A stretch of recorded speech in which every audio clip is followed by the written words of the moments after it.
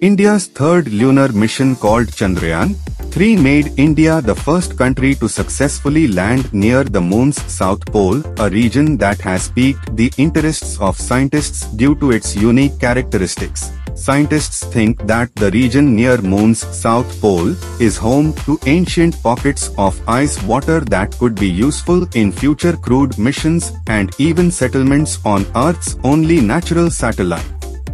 India's previous attempt to land on the south pole of the moon failed in 2019.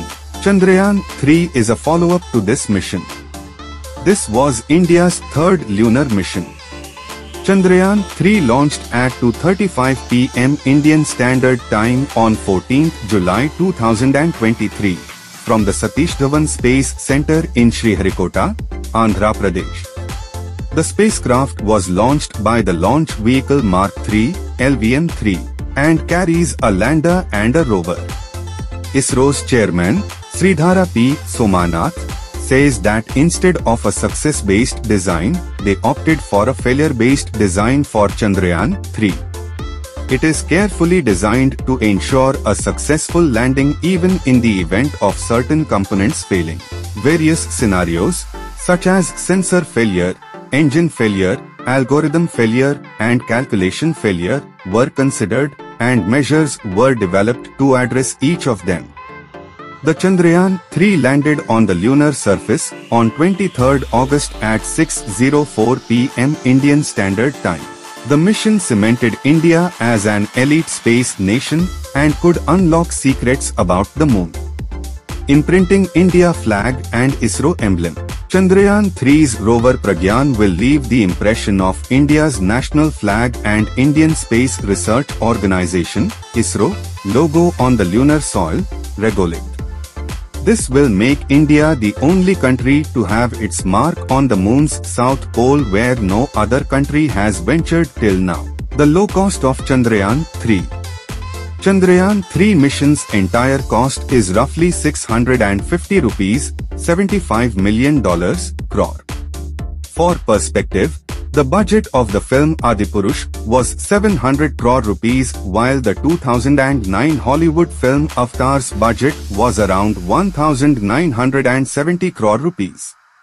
First country to probe South Pole. As Russia's recent Luna 25 mission failed to soft land, now, Chandrayaan 3 achieved a successful soft landing on the lunar surface. India has become first country to probe the moon's south pole and the fourth country to land on the moon after the United States, the former Soviet Union, and China.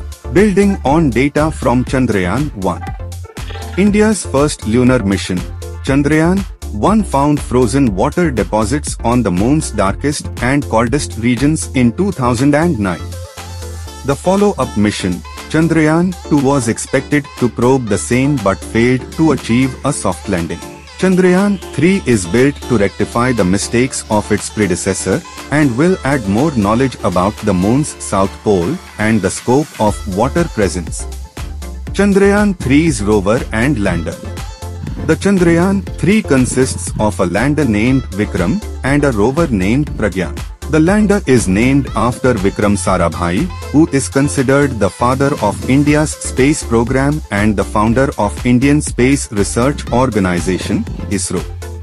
The rover accompanying the Chandrayaan 3 mission is named Pragyan. This name is derived from the Sanskrit word which means wisdom. The craft collectively weighs 3,900 kilograms. The propulsion module weighs 2,148 kilograms and the lander and the rover weigh 1,752 kilograms. This total weight is close to the maximum capacity of the GSLV Mk3, which is India's strongest rocket. The rover will be released from Vikram using a ramp. This six-wheeled rover is powered by solar energy and carries two spectrometers to study the composition of the moon's surface. It will move around the landing area for about 14 Earth days, which is roughly equivalent to one lunar day of sunlight. Vikram lander is equipped with four scientific instruments as well. The first instrument is a seismometer designed to detect moonquakes, while the second one studies how heat moves through the lunar surface. The third aims to understand the plasma environment around the moon. And the fourth is a retroreflector to help understand the gravitational interaction between the moon and the planet.